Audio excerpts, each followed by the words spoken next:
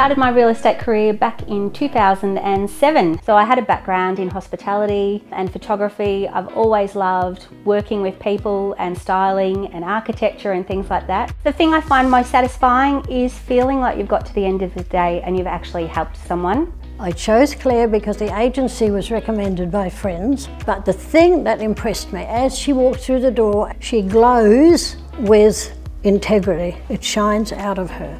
And I was really impressed with that. She is a rare person who does exactly what she says she will do, which is a little bit out of fashion, I think. So when I'm not at work, I love exploring everything that Gippsland has to offer. We've got really fantastic restaurants, wonderful shopping opportunities, and I think um, sharing that enthusiasm with buyers when they come into the area is something I'm really genuine about as well. To know that you've got to the end of an experience and your clients are in a better position than they were at the start is the thing that I love the most. We would totally, utterly recommend Clare.